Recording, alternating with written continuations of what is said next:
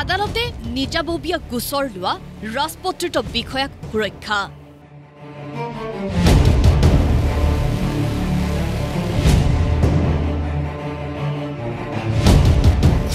গৃহ বিভাগে ভুল নেদেখা ন বিশেষ ৰাজপত্ৰিত বিষয়া।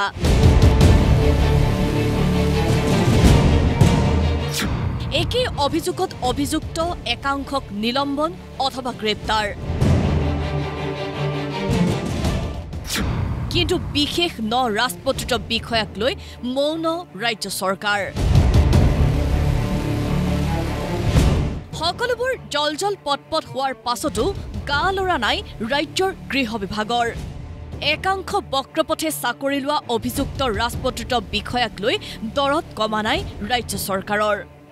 অসম আৰক্ষী তথা এছ আই টিৰ তদন্তই ঢুকি নোপোৱা ন ৰাজপত্ৰিত বিষয়াৰ বিৰুদ্ধে নিজাববীয়া গোচৰ ল'লে ৰাজ্যৰ বিশেষ ন্যায়াধীশৰ আদালতে।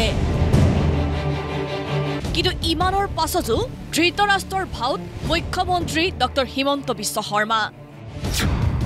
জামিনত থকা বিষয়াই চলাইছে কৰ্মদক্ষ মুখ্যমন্ত্ৰীৰ প্ৰশাসন। কাৰণ আদালতে গোচৰ লোৱাৰ পাছতেই এই বিশেষ নগৰাকী ৰাজপত্ৰিত বিষয়াই ইতিমধ্যে জামিন লৈছে আদালতৰ পৰা।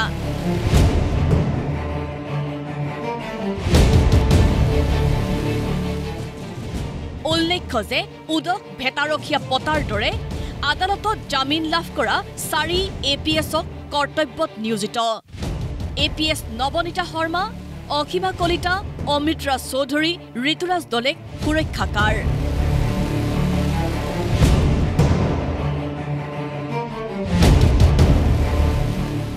জামিন লাভ কৰা পাঁচ এ চি এছো কৰ্তব্যত নিয়োজিত হৈ আছে। সমগ্ৰ বিষয়টোক লৈ একাংশই এতিয়া ৰহস্যৰ গোন্ধ পাইছে।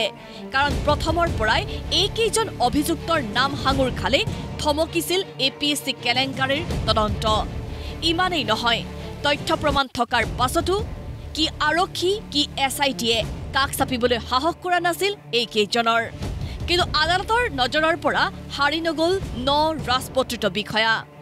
এতিয়া জামিনত থকা এনে দাগী বিষয়াৰ জৰিয়তে আৰক্ষীৰ তদন্ত চলোৱাটো অথবা প্ৰশাসন চলোৱাটো কিমান সুৰক্ষিত?